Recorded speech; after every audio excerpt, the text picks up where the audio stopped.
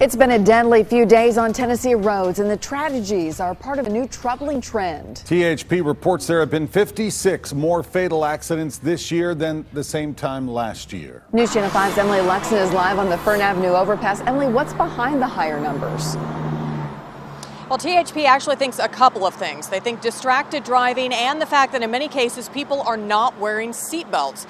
And they say it's always upsetting to see the numbers on their reports go up. Those are families. Those are lives lost and families affected that affect the whole community. So they're very concerned us, and that's why we monitor them closely. And we are learning more about the two most recent fatal accidents that occurred on I-40 in Dickson County. On Friday, Jesse Butts was killed in a six-car accident near Burns. Dickson police say a tractor trailer crossed over into the right shoulder and hit a truck, which caused a chain reaction crash. Four other people were rushed to the hospital. Butts was a sergeant in the Marine Corps Reserves in Smyrna, the son of the chief deputy of the Hickman County Sheriff's Office, and a father to three young children. Then on Sunday, a pickup truck heading east on I 40 went off the side of the road, hit a disabled truck, lost control, and then skidded off the road into the woods.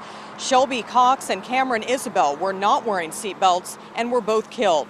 While the cause of both of these accidents is still being investigated, THP says both accidents serve as a reminder for people to wear their seatbelts and try to limit distractions while out on the road. Distracted driving, it's, it's really on the rise. We, we're in the need now to be in constant communication, you know, whether it's texting, sending a tweet, sending a Facebook message. We see it all out there, and if we just get people to focus on driving and not the other distractions in their car.